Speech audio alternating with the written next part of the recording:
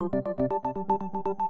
For over a century, elephants have been the star attraction at the Ringling Brothers and Barnum and Bailey circuses, but now those animals are being cut from the act. Ringling Brothers announced it will stop using elephants by 2018, saying the decision was motivated in part by public concern about how the animals are treated. Feld Entertainment, Ringling's parent company, has been fighting legislation for years that would restrict how its exotic animals are handled in captivity and during live performances. Some cities, such as Oakland and Los Angeles, passed bans on bull hooks, which are fire poker like prods used to train and control elephants. It's a weapon that is used each and every time a circus trainer works with an elephant in order to compel strict obedience. The 13 elephants currently on tour with the circus will eventually be retired to Ringling Center for Elephant Conservation in Florida. Approximately 40 Asian elephants are already held there, the largest herd in North America. Public backlash against harsh animal treatment has also affected another entertainment company,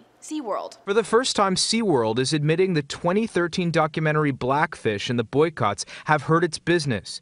The theme park's attendance dramatically dropped after the release of that documentary, portraying its treatment of orca whales as cruel. But Ringling's move may not be all about animal conservation. Fighting legislation restricting elephant use in performances was likely costing the company a pretty penny, so this might just be Ringling throwing in the towel. Animal rights group PETA, a harsh critic of the company for decades, says if the circus were serious about protecting elephants, it wouldn't wait another three years to stop shows. This doesn't mean that Ringling will never use animals again. It will still feature camels, tigers, lions, dogs, and horses. For I'm Jasmine Bailey.